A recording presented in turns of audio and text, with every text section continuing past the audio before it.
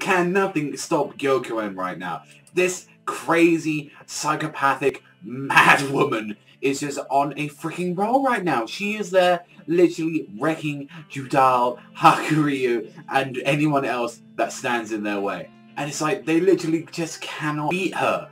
this is how strong she is. So we even see at the start of the chapter, I just love how Judal just has to keep saying it. This bitch, this bitch is too strong. She's too fucking strong. Like, it's saying, yeah, you should have been a little bit more prepared. You you two thought you had your little schemes and stuff ready and all that. And literally, Judal has to use his trump card immediately. And you see that, you know, he's got the eye as well, you know, from Alma Torran. He's like literally activating it and using his isolation magic, which is something that he stole from Himself. So it shows, you, along with my theory, that was great that he actually has taken a lot of his wisdom as well, a lot of magic that he was working on, a lot of the techniques, and this one actually stopped all magic from inside and out actually penetrating or even getting in, and this was draining and making sure that she couldn't use any of her magic at all. Like Gyokuen, it's just like literally there, like beating the shit out of your mother, which I'm pretty sure that yo, that can't be Hakuryu's mother at this point. I, especially in this chapter, what she did, like that, no.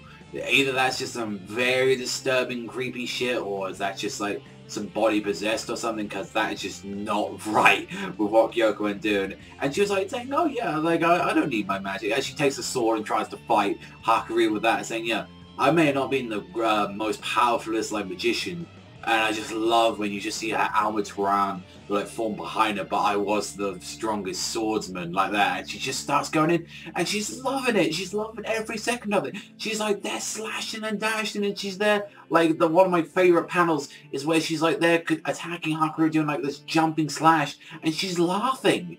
She's genuinely enjoying herself. She is that fucking insane that she's genuinely loving slicing and dicing her fucking son. And she's like, just seeing there, it's like saying, I will fucking kill you. Like that. And she literally kisses him. And this is the one that's just like the most terrifying of all the chapter. It's like when you see her and she's just saying, you know, she's happy that Hakuryu was doing and she has the same. If anyone's ever seen the series known as Hungry Joker or something like that, then you know that a certain someone's brother, like, literally has the same expression, and it's just like Nasiatsu, and it's just like, big brother's come to see you. It's like, it's just so creepy, but this time it's like, mother's come to see you. It's like, oh my god, this fucking bitch is insane. It's just like, it was absolutely just such this creepy face like like the darkest clown face or something. I, I don't know. She's literally on top of the son just saying, I'm so happy.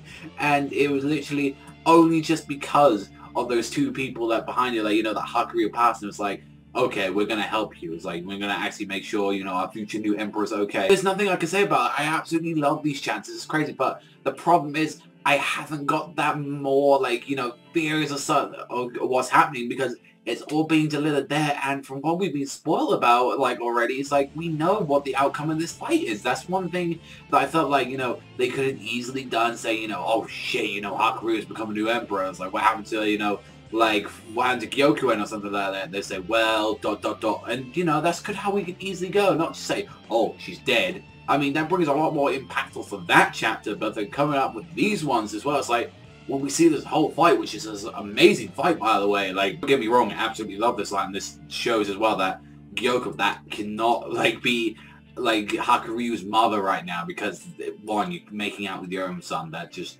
wrong in so many levels. She's insane, and she's just shown time and time again that she's just physically and mentally not fucking there. She is not mentally there at all because she's an absolute psychopathic bitch. I mean, and this just shows how strong she is. She doesn't need magic and she's owning both Judal and Hakuryu. And now it's going to make it a little bit more different now that we've got these two other guys helping as well. So I'm very curious about next week's chapter, like what's going to be happening with that, like with 249s. Seeing that, you know, is this actually going to be the thing that actually stops, like, like Yoga because they can't take down the isolation barrier. No way. If they take down the isolation barrier, they're done. They're done. This has to be finished here where she can't use any magic and it's like, are they going to have like four people going into? Like, Judal with his staff, Hakuryu with his like spear, like you've got like these two guys as well, with, like that giant axe and spear as well they got as well. So yo, let's have a whole fucking fight right now. Let's go have all these guys trying to take on freaking Gyokuen. That's something I want to see. Like, and she's actually holding their um her own against these guys. That's something I want to fucking see. Other that, this was another real good chapter. Really did enjoy it. Just creeped me out a bit, you know, with this chapter. So I'm definitely gonna give this one a eight and a half out of ten. Really did enjoy it. But like I said, you know, it's it was kind of self-explanatory in this chapter. You know, it was just fighting, creepiness, and you know, I just there's not that little sense of mystery with this like fight because like I said, if there was another fight, I would be so excited. If I didn't know what was happening, I'd be like, probably saying, yeah, this is a nine, this is a nine and a half or something like that. But I know the outcome or the so-called outcome, so maybe it might mind fuck me, and then I'll feel really bad and I'll have to change the the scores to these to nines and tens with these ones. But that's all for me. I want to thank you very much for watching as always. But remember, I'll see you guys next time.